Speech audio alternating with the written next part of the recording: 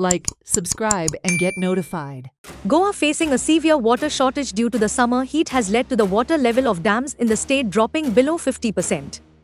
As per data released by the Water Resources Department, WRD, the water level of the Anjunem Reservoir, which serves Sattari and parts of Bicholi Taluka, stands at 22% till 10th May 2024. Whereas, recent data shows that the water level has plummeted to a concerning 18%.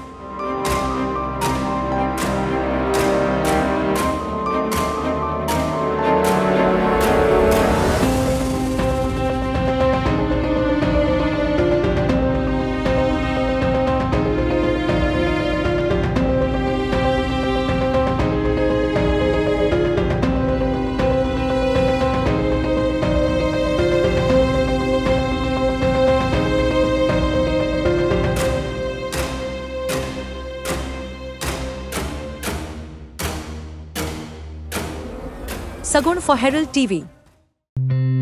Watch on Herald TV.